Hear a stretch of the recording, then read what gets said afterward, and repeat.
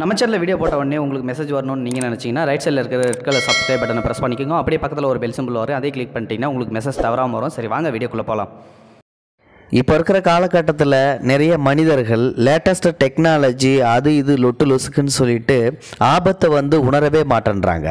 நெருப்பு சுடுன்னு சொல்லி தெரிஞ்சும் அந்த நெருப்பில் போய் கையை நீட்டினா அது பைத்தியகரமா அப்படின்னு சொல்லிட்டு வந்து சொல்ல தெரியல. ஆனாலும் நிறைய பேர் அந்த மாதிரி நெருப்பிலே கொண்டு போயிட்டு கையை வேணுமனே வைக்கிறாங்க. ஆனால் அது பின்னாடி சுடும் அப்படின்றது அவங்களுக்கு தெரிஞ்சே தான் வைக்கிறாங்க.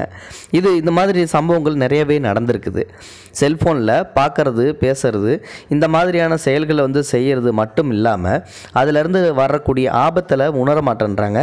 எவ்வளவோ பெண்கள் வந்து பாலியல் துன்புறுத்தலுக்கு ஆளாயிருக்காங்க ஃபேஸ்புக்கில் தன்னுடைய புகைப்படத்தை பதிவிட்டு அதே மாதிரி நிறைய பேர் சார்ஜர் போட்டுக்கிட்டே ஃபோன் பேசி வெடித்து அதிலிருந்து பார்த்திங்கன்னா உயிரிழந்திருக்காங்க கண்ணுப்பு இருக்குது. எந்த மாதிரியான சம்பவங்கள் நம்ம நாட்டில் இன்னமும் நடந்துக்கிட்டு தான் இருக்குது. ஆனாலும் இந்த விஷயம் எல்லாம் கேள்விப்பட்டும் கூட நிறைய பேர் சார்ஜரை ஃபோனில் போ போட்டுக்கிட்டே வந்து பேசுறது அதுக்கப்புறம் ஹெட்ஃபோனில் போ போட்டுக்கிட்டே வந்து தூங்குறது இந்த மாதிரியான சம்பவங்கள் நடந்துக்கிட்டு தான் இருக்குது. சென்னையை சேர்ந்த பாத்திமா அப்படின்ற ஒரு பெண் வந்து பார்த்திங்கன்னா தன்னுடைய தூக்கத்தில் ஹெட்செட்டை மாட்டிக்கிட்டே வந்து தூங்கிட்டு இருக்காங்க மறுநாள் காலையில் அவருடைய கணவன் வந்து பாத்திமாவை எழுப்பி விடுறாரு. அப்போது பாத்திமா வந்து கண் முழிக்கவே இல்லை. கொஞ்ச நேரத்தில் மூக்கில் கையை வச்சு பார்க்குறாரு அங்கே சுவாசம் இல்லை. அதுக்கப்புறம் நாடி துடிப்பு பார்க்குறாங்க அதுவும் இல்லை. உடனே பயந்து போயிட்டு ரொம்பவும் அலறல் சத்தம் போடவும் அக்கம் பக்கத்தினர் எல்லாருமே ஓடி வந்து ஃபாத்திமாவை மீட்டு அரசு மருத்துவமனைக்கு கொண்டு போகிறாங்க அங்கே போய் செக் பண்ணதுக்கு அப்புறம் இந்த பொண்ணு ஏற்கனவே இறந்து போயிட்டா அப்படின்னு சொல்லிட்டு டாக்டர்கள் சொல்கிறாங்க செக் பண்ணி பார்த்துட்டு. அதுக்கப்புறம் இவர் மேலே கேஸ் விழுவுது. அதாவது கணவர் மேலே கேஸ் விழுவுது. காவல்துறைக்கு உடனடியாக தகவல் தெரிவிக்கிறாங்க.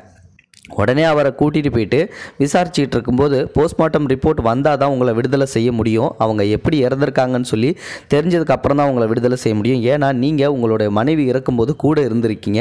அதனால் நீங்களே கூட ஏதாவது செஞ்சுருக்கலாம் அப்படின்றதால தான் உங்களை அரெஸ்ட் பண்ணி கொண்டு வந்திருக்கோம் அப்படின்னு சொல்லிட்டு அவரை கொண்டு போய் போலீஸ் ஸ்டேஷனில் உட்கார வச்சுருக்காங்க. அதுக்கப்புறமா போஸ்ட்மார்ட்டம் செஞ்சு அந்த போஸ்ட்மார்ட்டத்தோட ரிப்போர்ட் வருது போலீஸ் கைக்கு. போலீஸ் அந்த ரிப்போர்ட்டை வாங்கி பார்த்ததுக்கு அப்புறம் வந்து பார்த்தீங்கன்னா அந்த பொண்ணு மின்சாரம் தாக்கி தான் உயிரிழந்திருக்காங்க அப்படின்ற ஒரு தகவல் வந்து போலீஸுக்கு தெரிய வருது. உடனடியாக வந்து அவருடைய அந்த பொண்ணுடைய கணவர் வந்து வி- விடுதலை செஞ்சிடுறாங்க உடனே வந்து பார்த்தீங்கன்னா இந்த பொண்ணு வந்து எப்படி கரண்ட் ஷாக் அடித்து இறந்துருப்பா?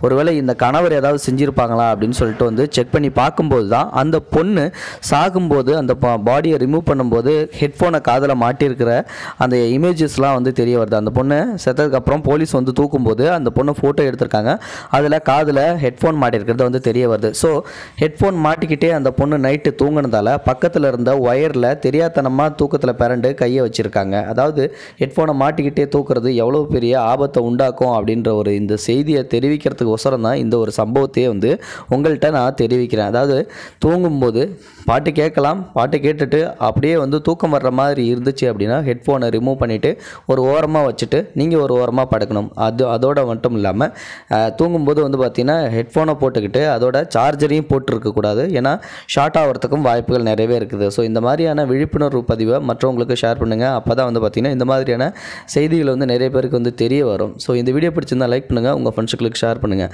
கூடவே நம்ம சேனலையும் சப்ஸ்கிரைப் பண்ணி விட்டுருங்க. தேங்க்யூ ஃபார் வாட்சிங் இது போன்ற செய்திகளை உடனுக்குடன் நீங்கள் தெரிந்து கொள்ள மறக்காமல் எங்களுடைய சேனலை சப்ஸ்கிரைப் செய்யவும் கூடவே பக்கத்தில் வரும் பெல் ஐக்கானையும் கிளிக் செய்யவும்.